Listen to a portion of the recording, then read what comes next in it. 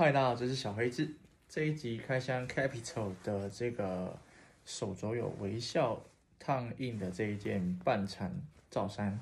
好，罩衫是日本那种职人标准的定番配件哦。那后来也被广很多品牌作为就是穿搭的要件，然后设计出来给大家做选购。然后 Capital 的话，呃，这一件是蓝染的这种工法做成的，然后颜色蛮好看的。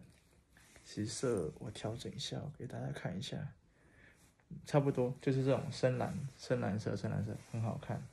然后设计出处的很简单，那主要做搭配用。然后呃，先给大家看一下一些小细节，就像它这个它的布标，然后还有这个烫印上去的这个微笑 logo。它这个 logo 就是因为是烫印上去的，所以它会因为它这个纹路的部分，它会有一点点这种。呃，这种呃，这叫什么古着感？但讲白了，应该就是它就是这种皲裂、龟裂裂开，那是故意这样设计的。好，嗯，有点曝光，我再调一下，还蛮可爱的。就像这种它经典 logo 的单品，是很容易玩瘦。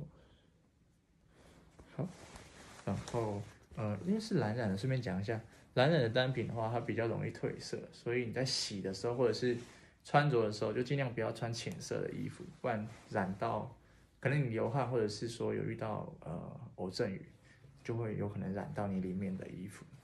好，然后这一件是四号的，就给给大家看一下版型。但实着的话，这个搭配就真的就是很很，我觉得蛮随性的这种感觉，然后其实很好看，它穿一点点宽松就可以了。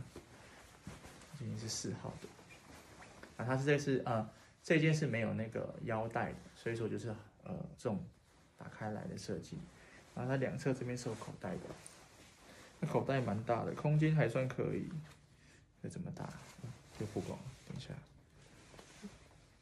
这么大，嗯，还是一样，好，我放弃，好，然后等一下啊，今天是四号，给大家看一下感觉。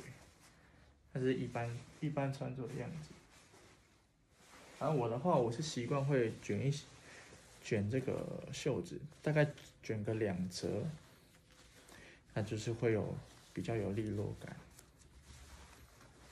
会建议可以这样试试看。然后目前这件前阵子有补货啦，今天是二零二一年二月一号。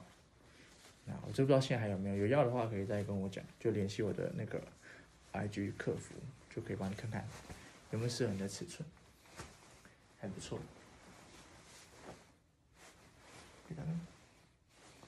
设计素素的，然后细节部分也有。好，那这部影片大概是这样，这件是四号，拜拜。